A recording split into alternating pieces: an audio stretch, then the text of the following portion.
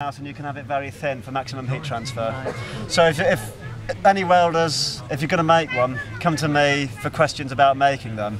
Otherwise, if you want one, you know, somebody's asked me to make them one already. If I make a few, I'll knock, knock the price down at the moment.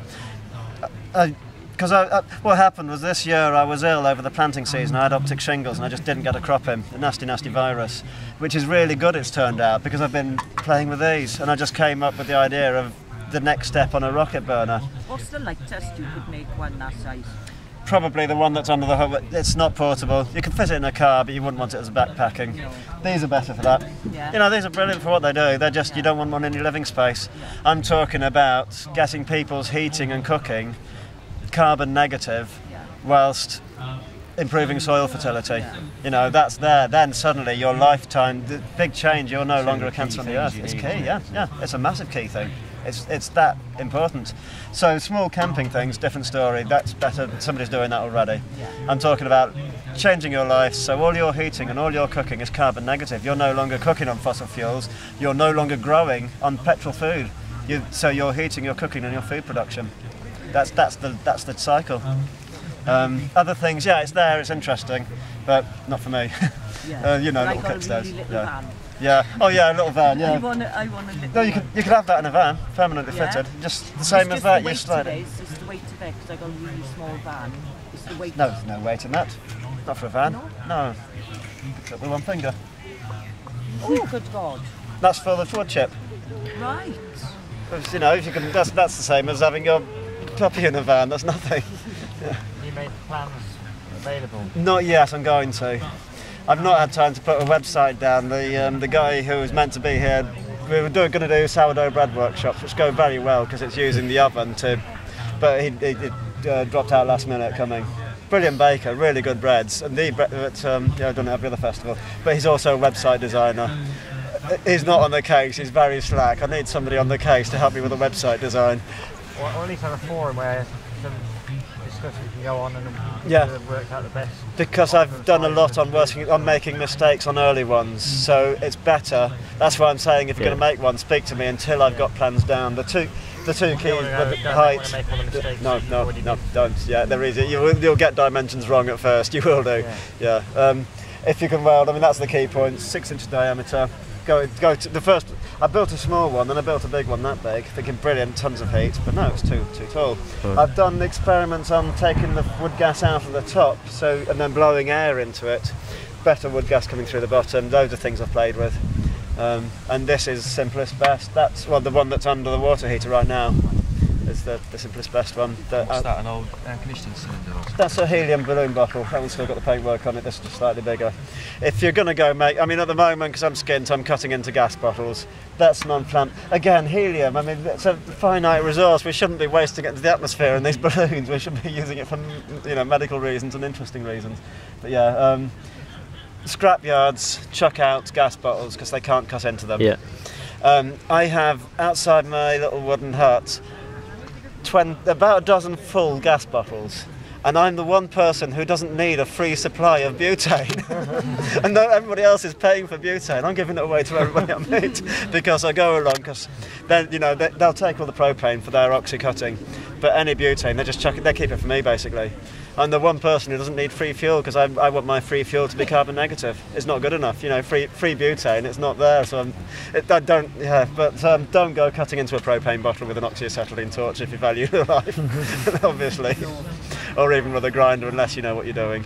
Um, the safe way, if you if you're playing with actual flammable gas bottles, take the valve out and fill it with water if you want to play very safe. Um, but yeah, as far if if, if you're interested, like I said, I mean, there are different levels of use. Playing with them first for your allotments, your gardens, and producing biochar on that. Then the next level is actually getting all your heating and cooking either on a porch or bringing it into a thermal mass where you've got a hot plate, or your internal hot water system, and then, um, or you know, or an internal oven, which you, you know, again with it going down into a thermal mass. Um, heat Can capture. you use any wood in that? I tend to have painted and varnished wood Right. is I would rather gasify than just burn it because with the extra heat you're going to burn up all the formaldehyde and you name it, and you- you've got bigger chemical reactions going on, basically. And it's being gasified by the council anyway. Um, I don't know what temperature it hits, but not here, but back at home, a bit of varnished oak. I'm not going to chuck it away. I'm going to send it through there if it's got paint or varnish. But other than that, the only other secret is dry it, especially the wood chip. Not massively. If your wood chip is moist, the moisture will, instead of boosting the flame, cool it down. So, yeah. So if we were going to use trees, is there any particular tree wood?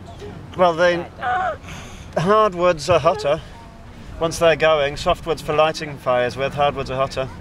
Um, I get free wood delivered by tree surgeons.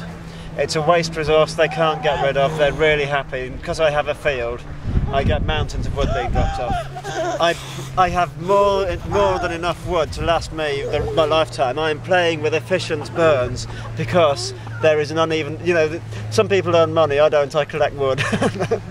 but there isn't enough to go round. So hence inventing efficient super biochar producing burners because that's a feature of more than just myself. Um, but I, I know, you know, get to chat up tree surgeons, there's enough, it's easy to get tons of free wood. Um, skips, buildings, building, you know, I can't go past a skip if it's dry. That bone, you know, the kiln dried pine.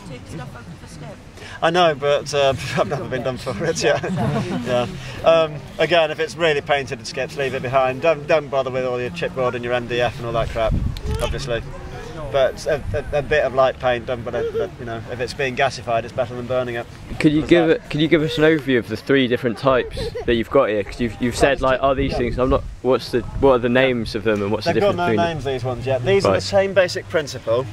I've, I'm calling it a rocket hybrid for now. It's a hybridized rocket stove. Right. So, rocket stove, the principles of a rocket stove are the elbow and the insulation.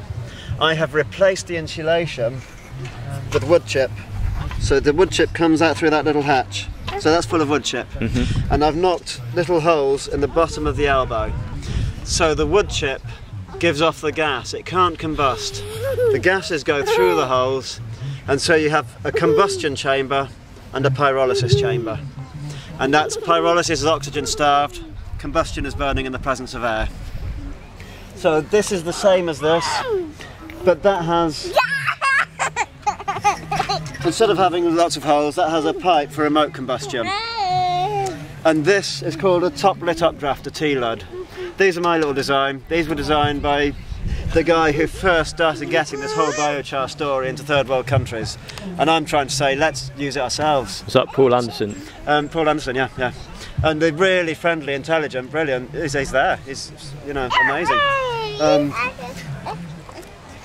Smoke, smoke, uh, oxygen starved fire in the bottom, just a few holes. Very smoky fire. Uh, the fan, just a computer fan on this side. So the minute the sm- uh, fan blowing air through these holes in the top, the minute the air hits the smoke, you get the most impressive smoke-free combustion. Really, you know, it's, it's impressive.